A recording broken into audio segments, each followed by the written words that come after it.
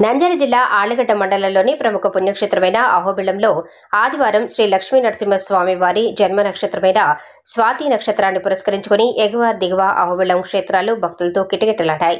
స్వాతి సందర్భంగా ఎగువ అహోబిళంలోని శ్రీ లక్ష్మీ నరసింహస్వామి వారికి చెంచులక్ష్మి అమ్మవారికి దిగువ అహోబిళంలోని శ్రీ ప్రహ్లాద వరదాస్వామి శ్రీ అమృతవల్లి అమ్మవార్లకు అభిషేకం ప్రత్యేక పూజలు నిర్వహించారు. దిగువ అహోబిళం క్షేత్రంలోని యాగశాలలో ప్రధాన అర్చకులు కిడాంబి వేణుగోపాల స్వామి ఆధ్వర్యంలో సుదర్శన హోమం పూర్ణాహుతి కార్యక్రమాన్ని నిర్వహించారు.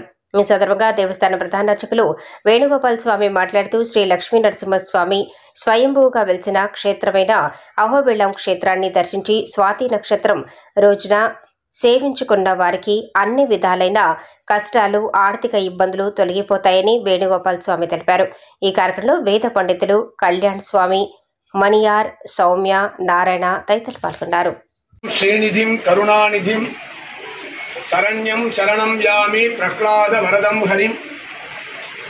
భూమి ప్రదక్షిణాన్ మత్య యత్ఫలం లభతే చిరాత్ తత్ఫలం లభదే సద్య నారసింహ ప్రదక్షిణాత్.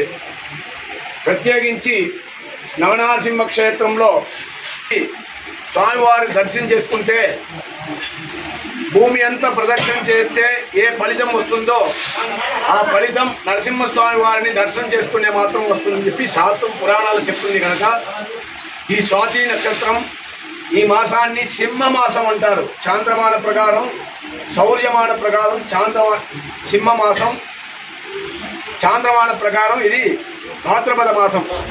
ఈ భాద్రపద మాసంలో నృసింహస్వామి వారిని విశేషంగా ఆరాధిస్తే వారి అందరికీ సకల విధమైన సౌభాగ్యం కలుగుతుంది. దాదాపు మూడు వందల ఇరవై స్వాతుల పాటు ఈ ఒక మహోత్సవం అనేది అత్యద్భుతంగా జరుగుతుంది. రాష్ట్రమే కాకుండా ఇతర రాష్ట్రం నుంచి కూడా భక్తులు కర్ణాటక తమిళనాడు నుంచి కూడా ఈ పర్వదినమున స్వాతి నక్షత్ర వేడుకలను పాల్గొంటూ వారి అందరి క్షేమంగా స్వామివారు లక్ష్మీ స్వామి అనుగ్రహిస్తారు కనుక ప్రతి ఒక్కరూ స్వాతి పర్వదినంలో వచ్చిన వాళ్ళకి ప్రత్యక్షంగా రాని వాళ్ళకి పరోక్షంగా ఇటువంటి మీడియా ద్వారా భగవంతుని దర్శనం చేసుకుంటే వారి అందరికీ సకల విధమైన సౌభాగ్యం కలుగుతుంది. సంతాన సంపదం లక్ష్మీ. ఆయుర్ ఆరోగ్య పూర్ణికాం సింహ పదద్వంద్వ దద్యాత్ అత్యంత వైభవాన్ని చెప్పినట్టు కాలే వర్షతు పర్జన్య పృథివీ సస్యశాలినే దేశోయం క్షోభరహిత. బ్రాహ్మణా సంతు నిర్భయా. స్వస్తి ప్రజాభ్య పరిపాలయంతాం. న్యాయేన మార్గేణ మహిం మహిషా గో బ్రాహ్మణేభ్య శుభమంతు నిత్యం లోకా సమస్తా సుఖినో భవంతు. ప్రత్యేకించి గత నెలలో మైననాళ్ళ జరిగిన ఒక అతివృష్టి అదేవిధంగా మన రాష్ట్రంలో విజయవాడ ప్రాంతంలో అక్కడంతా ఎంతో మందికి భగవంతుడు